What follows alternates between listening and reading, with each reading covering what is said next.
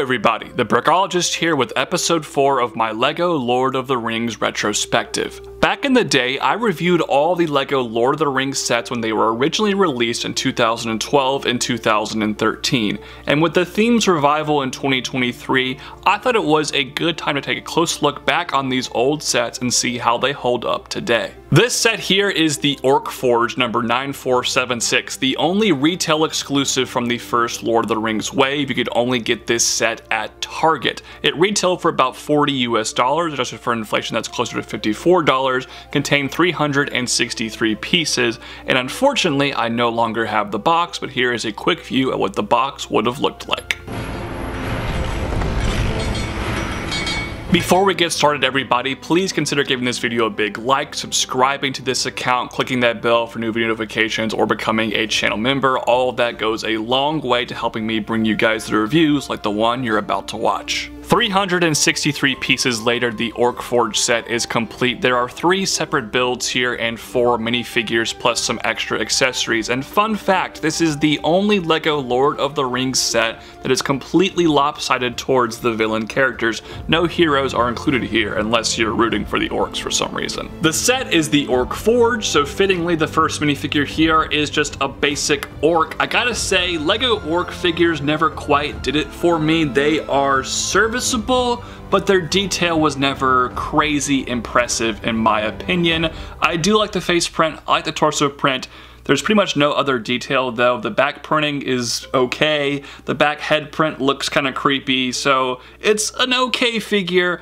but I think they could have done a bit better. One other orc is included, and I do think this hair earpiece goes a long way to giving these orc figures a lot more life, so this one is a little bit better in my opinion, but all the other details are the exact same. A fully decked out Uruk-hai is included. If you want to see a better look at these figures, check out my review for the $30 Uruk-hai army set. However, this one is a little bit different because the helmet and the shield have the white hand of Saruman printed on on there, which is so cool. I absolutely love that. Making these figures way different.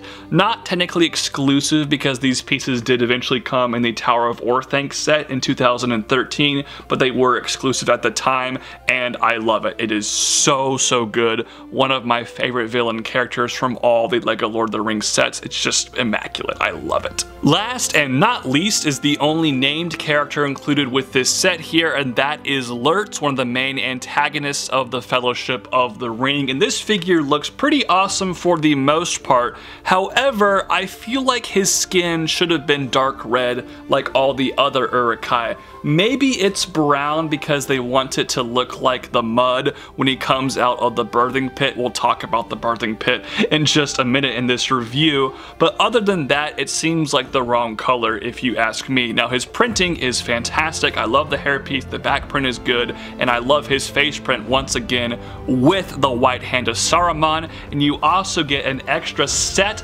of the armor with the White Hand as well in this set, which is really good, but it also demonstrates that his leg print here just looks a little bit off if you ask me. Looks like he's not wearing any pants, so that is kind of weird. Other than that though, awesome figure, and it's really cool to actually get him exclusively in this set.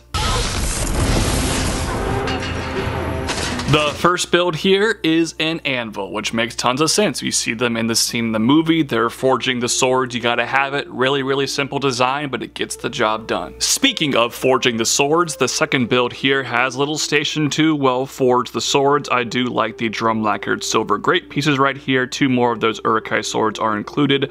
The rest of this build is very simple and just a 6x6 plate, but there are some transparent orange pieces in there to represent the fire. This works out pretty nice for a tiny side build. And here is the Orc Forge itself. I'm going to work my way from this side to this side to kind of show you the process of this set. But first, let's look at one of the most disgusting LEGO play features ever. Over here might not look like a whole lot. This rock formation just has some greeble details. You're probably wondering, Lee, what's so disgusting about this? Well, this is actually the birthing chamber for the Uruk-hai, specifically Lurtz, in this set, which is obviously a scene from the movie and they recreated it here. I honestly cannot believe LEGO did this. Basically, pull this off and there's a hole in the back here and you can just basically push Lurtz out and then he is birthed. That is just so weird and my guy here is naked which is a little bit strange to think about. But yeah, LEGO actually made that scene into a play feature, which,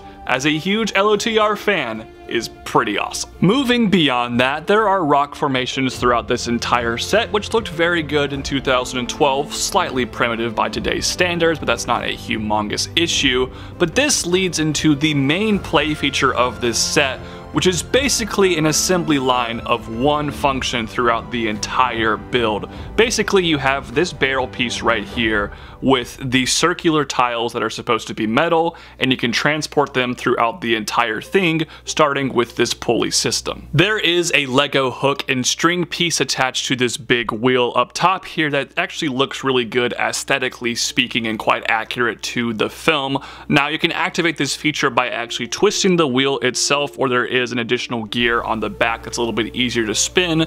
By doing so, it will raise this barrel. My strings are a bit old and kind of loose looking, but for the most part, it still works out pretty well, so I'm happy with this feature. Now, I'm not really sure if this was an intentional feature, but there is a small platform piece right here attached on by some yellow parts that really stick out like a sore thumb, but you actually can extend this out and raise it like it's extending the top platform here, and then rest your barrel on top of that. I'm not sure if that was intentional, but if it was, it makes a lot of sense. Moving on to this midsection here, this design is so simple but very effective. I like the use of parts. There is a small burp in the back there which is effective and a torch up top. I like all of that. Additionally, all of these pieces with wood are printed. There are no stickers in this set, which is always a good thing if you ask me.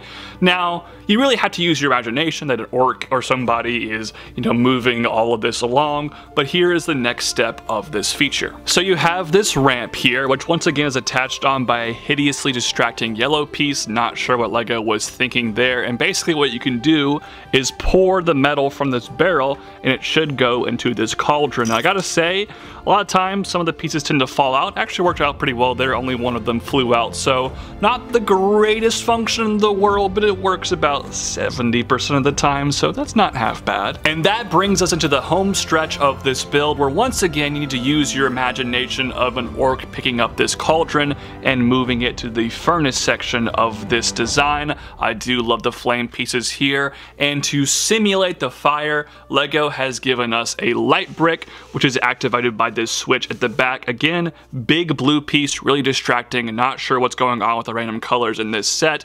But when you push on that piece, it activates the light brick. Yeah, unfortunately, after 12 years, the battery in my light brick has died. However, here is a clip of that design from my original review back in 2012. I apologize for the horrendous camera work, but at least you guys get to see how that light brick functions. One final detail, this is kind of modular. You can actually split these two pieces into their own separate builds. Again, with the weird colors, at least those ones are covered up. Now, this doesn't really add any playability to the set, but I feel like if you got another one of this set or made your own MOC, it would make it way easier to expand, which is, you know, kind of fun.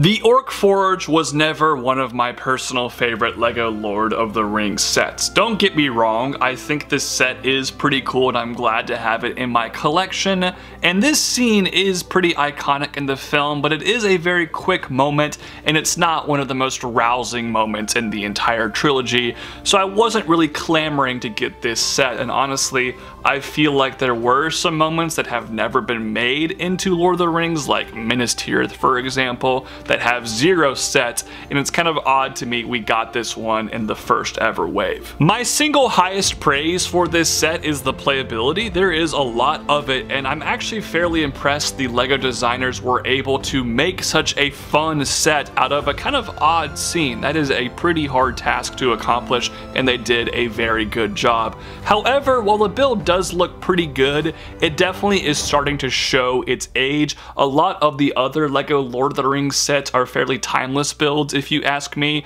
but this one definitely looks like a set from 12 years ago, which is not my favorite thing. Another aspect of this set I don't love are the minifigures. I actually think this might be the worst minifigure lineup of any LEGO Lord of the Rings set ever made. That's definitely not really saying a whole lot bad because every other set just has such incredible figures, but the figures at this set here, besides the really cool printed armor, are fairly mundane for this theme. Additionally, the value of this set wasn't great as well. It was a decent price for 40 bucks and 363 pieces back in 2012, but the $54 adjusted for inflation price is real bad.